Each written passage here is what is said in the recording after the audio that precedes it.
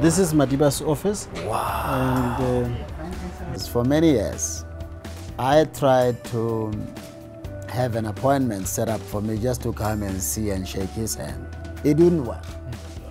so here we, we, we took out a few things uh, from Madiba's collection for you to see. Wow.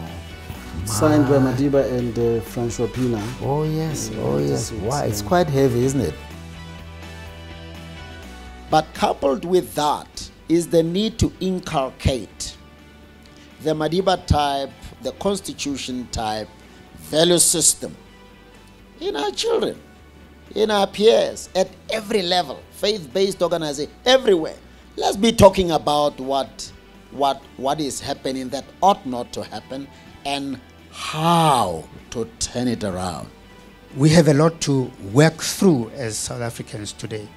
And, and one of them is how do you make our living spaces human living spaces?